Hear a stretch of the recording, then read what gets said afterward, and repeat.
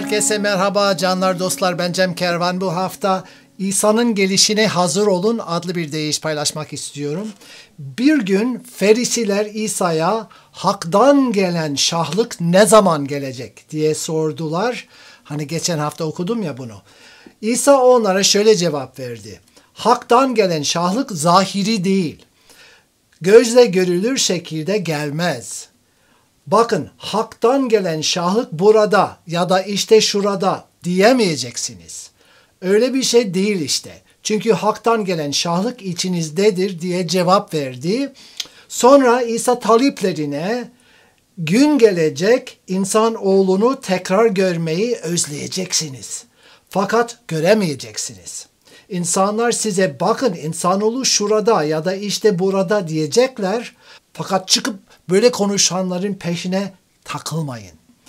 Çünkü insanoğlunun dönüşü, kendi dönüşü, insanoğlunun dönüşü şimşeğin çakıp gökyüzünü bir anda boydan boya aydınlattığı gibi tüm çıplaklığıyla apaçık ve ortada olacaktır. Ancak önce insanoğlunun çok çile çekmesi ve bu nesil tarafından reddedilmesi gerek. İnsanoğlu dünyaya döndüğü zaman her şey Nuh Nebi'nin günlerindeki gibi olacak. O günlerde insanlar gaflet içinde ziyafetler, şölenler ve düğünlerde keyif çatıyorlardı. Ta Nuh'un gemiye bindiği ana kadar. Hemen arkasında tufan oldu. Tufan hepsini helak etti.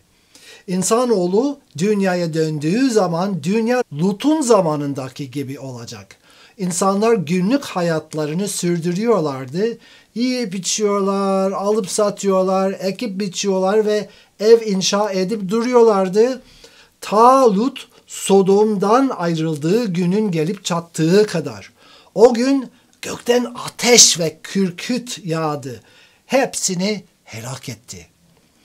Evet, ta insanoğlu dünyaya dönüp ortaya çıkacağı güne kadar her şey hep aynı tas, aynı hamam devam edecek.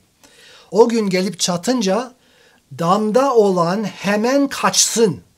Eşyalarını toplamak için aşağı inip evine girmesin bile. Aynı şekilde tarlada olan evine dönmesin. Lut'un karısını hatırlayın. Hani Lut'un karısı e, yani kaçarlarken evini özledi demek dönüp baktı ne oluyor diye taş kesildi. Taş oldu. Ne yapıp yapıp illa canını koruma çabası içinde didinip duran onu kaybedecek. Oysa canını feda eden onu kurtaracaktır. O gece aynı yatakta olan iki eşten biri alınacak, diğeri geride bırakılacak. Birlikte buğday öğüten iki kadından biri alınacak, diğeri geride bırakılacak. Talipleri İsa'ya sultanımız bunlar nerede olacak diye sordular. İsa hani nerede akbabalar orada leş derler ya. Yani nerede akbabalar havada üşüşüyorsa oralarda leş vardır. Aynı şekilde ne zaman bu alametler baş gösterirse o zaman son yaklaştı demektir diye cevap verdi. Evet ve buna göre bir değiş yazdım. İnşallah beğenirsiniz.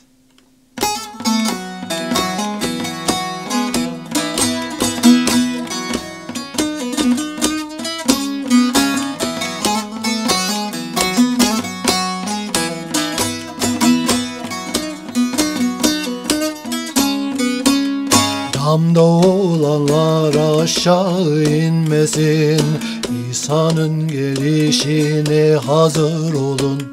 Damda olanlar aşağı inmesin. İsa'nın gelişine hazır olun. Aşağı inip evine girmesin. İsa'nın gelişine hazır olun. Aşağı inip evine girmesin İsa'nın gelişine hazır olun.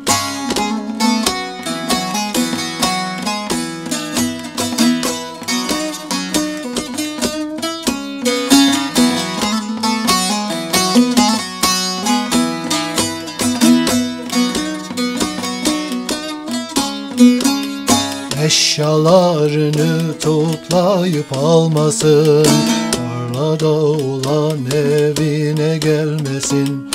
Eşyalarını toplayıp almasın. Tarlada olan evine gelmesin. Lut'un karısını unutmayasın.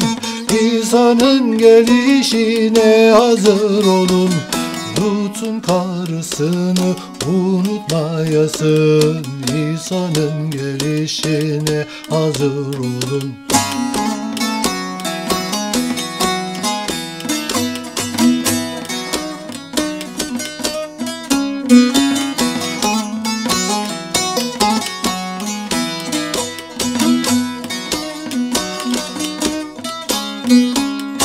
Canını seven onu kaybedecek. Canını veren onu kurtaracak. Canını seven onu kaybedecek. Canını veren onu kurtaracak. Canını verenler geri alacak. İsa'nın gelişine hazır olun Canını verenler geri alacak. İsa'nın gelişine hazır olun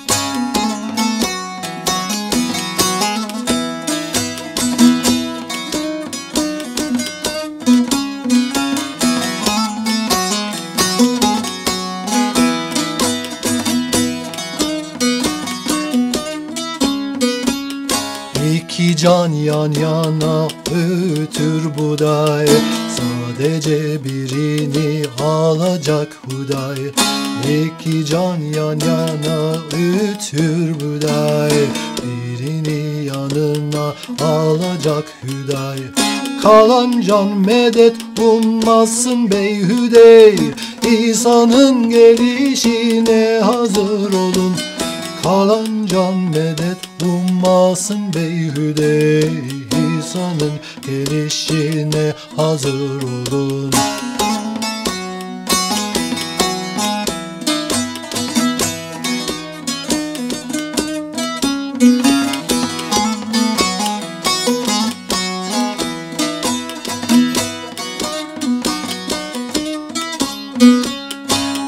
Kervanım karı koca yataktalar.